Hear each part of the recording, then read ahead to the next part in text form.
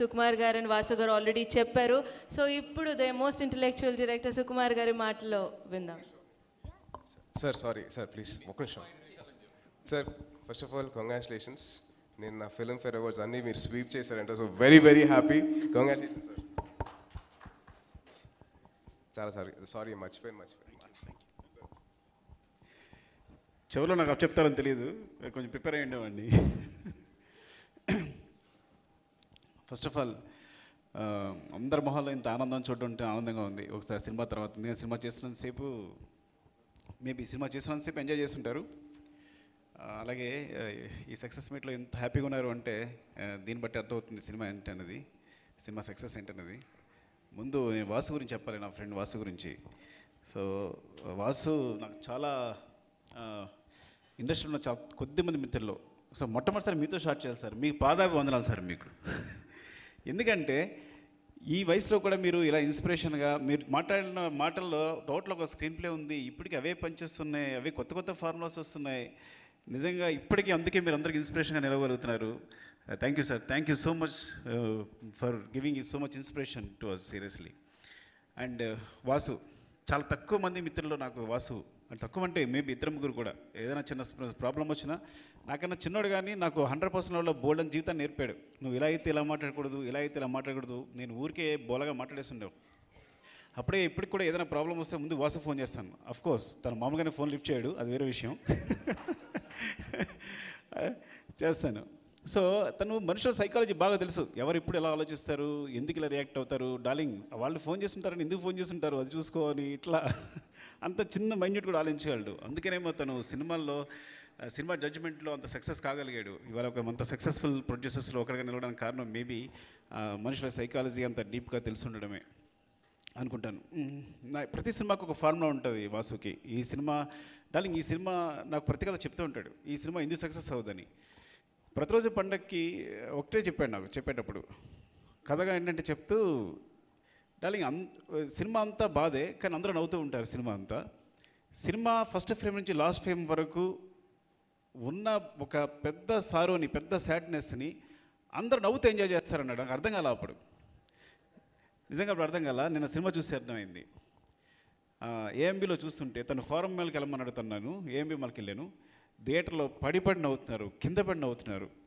నేను నా నా ఫ్రెండ్ని తీసుకెళ్ళాను రవికుమార్ అని నా ఫ్రెండ్ వాడు నవ్వుతూనే అంటే వాడిని చూడడం సరిపోయింది నాకు. ఎందుకంటే వాడు నన్ను సినిమా చూడనివ్వట్లా. నన్ను కొట్టి కొట్టి నవ్వుతూనే ఉన్నాడు. నేను జోక్స్ మిస్ అయిపోతున్నా.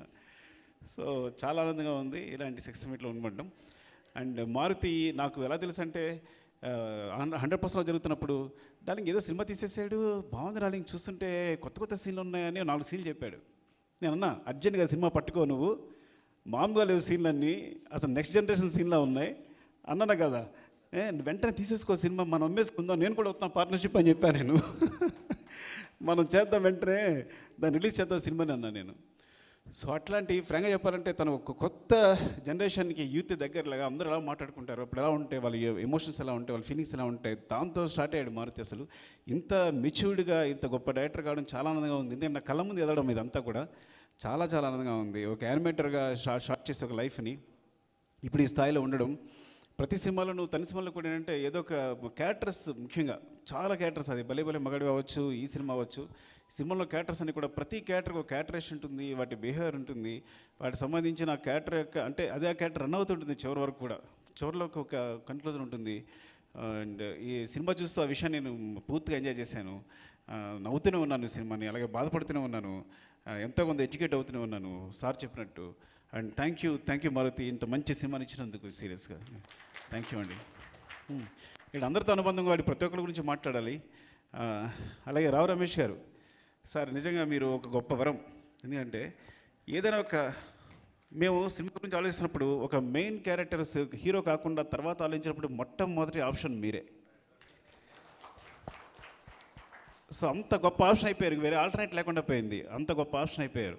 So thank you sir. ఎందుకంటే ఈ- ఈ సినిమాలో మీరు ఎన్ని ఎమోషన్స్ పండించాలో అన్నిటినీ బ్యాలెన్స్ చేయాలి. అలా బ్యాలెన్స్ చేసుకుంటూ తీసుకొచ్చారు. అది మీకే సాధ్యం నిజంగా. అండ్ ఇంకా శ్రీకాంత్ గారు మీరు అనుకోండి నేను ఆ సినిమా చూసినప్పుడే మొన్న కూడా చెప్పాను కదా నేను. ఆ సినిమా చూసినప్పుడు ఎట్లాగే మీకు ఇట్లాంటి ఒక మంచి క్యారెక్టర్ వచ్చింది ఒక మంచి స్పేస్ ఉన్న క్యారెక్టర్ వచ్చింది. యాక్చువల్గా స్పేస్ మీకు కాదు ఆయనకి దొరికింది. మీకు ఎలా ఏ సినిమా అయినా స్పేస్ దొరుకుద్ది. శ్రీకాంత్ గారి స్పేస్ దొరికింది చూసినప్పుడు.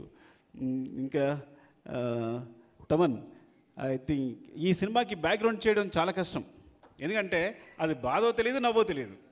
సో అటు ఇటు మధ్య కన్ఫ్యూజన్లో ఉన్నప్పుడు ముందు ముఖ్యంగా ఆడియో నవ్వుతూ ఉంటాడేమో కానీ సినిమా చూసినప్పుడు నవ్వచ్చు కానీ సినిమా మ్యూజిక్ చేసినప్పుడు ఎంత కష్టపడి నాకు అర్థం తెలియదు కానీ చాలా కష్టం బ్యాక్గ్రౌండ్ చేయండి ముఖ్యంగా ఫైట్ బీజే మదిరిపోయింది చాలా బాగుంది. అండ్ బాబా ఈ సాంగ్ సూపర్ దేవి ఫ్యాన్ కంటే ఎందుకంటే ఎక్కువ చెప్పకూడదు నీకు. And Subhash I'm very happy to see you like this సీరియస్గా సో ఆర్యతో స్టార్ట్ చేశాడు తన కెరియర్ని ఒక చాలా మంచి క్యారెక్టర్ దొరికింది. I'm very happy for you and uh, Raashi Raashi రాగానే ఒక సలహా ఇచ్చేసాను నేను పెద్ద అమ్మాయికిలాగా చిన్నపిల్లల పక్క వచ్చి నేను ఇలా చేస్తే బాగుంటుంది ఒక సలహా ఇచ్చేసాను. ఎందుకు ఇచ్చాను అంటే అంత ఇవ్వబుద్ధేసింది. తను తెలుగు అంతా బాగా మాట్లాడుతోంది చాలా బాగా చేస్తుంది యాక్ట్రెస్గా చాలా డెవలప్ అయిపోయింది. అంటే చాలా తక్కువ మంది హీరోలు ఉన్నారు ఇప్పుడు తెలుగులో. తెలుగు మాట్లాడాలి ముఖ్యంగా మనకు అనుకూలంగా ఉన్నవాళ్ళు.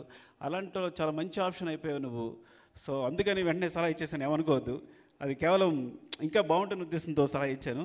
Is very good thank you అండి అండ్ సాయి యాక్చువల్గా సాయి నాకు పెద్ద జోకర్గా తెలుసు. ఎలా అంటే మేము రాజుగారు మ్యారేజ్కి వెళ్తున్నప్పుడు నవ్విస్తూనే ఉన్నాడు. ఏదో ఒక జోక్ వేస్తూనే.